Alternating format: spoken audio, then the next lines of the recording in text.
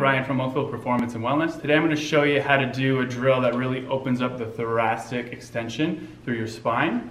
So you're going to take your band, your stretch band, we're going to loop it. Make sure that's above your head. And then this one, what you're going to do is you're going to take both hands through. You're going to loop one more time and then grab again. Then you're going to flip over this way.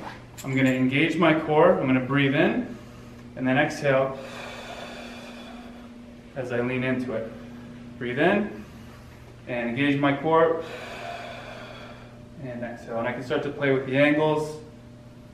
Our clients really like this one. If you sit at a desk, this really helps open things up and it feels really good.